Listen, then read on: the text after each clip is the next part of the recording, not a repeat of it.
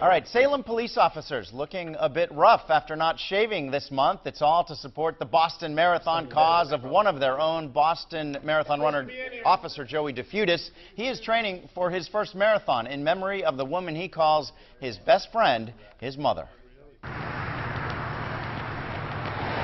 Everything kind of kind of came in the form of a, of a tidal wave. My mother had uh, been diagnosed with uh, AML. It's a form of leukemia. It was six months of probably the most intense highs and lows you can imagine.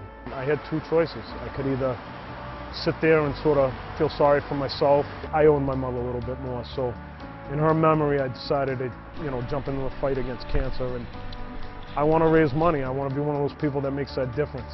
For the month of November, we've all been allowed to grow our beers, as you can see. Um, we were able to raise another good chunk of the money that way. I get kind of a dream that, you know, once I get in this and, and, hopefully I'm the straw that breaks the camel's back and, you know, due to my efforts and the efforts of everybody else who, who are raising money, you know, as we speak for, you know, the different charities and everything, I would like to one day see a cure for this.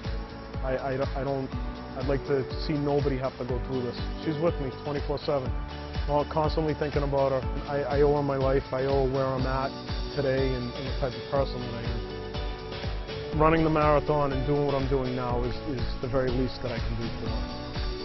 So I ask you, how much do you love Officer Defeudis? If you would like to contribute to the cause, log on to teamintraining.org and search under his last name.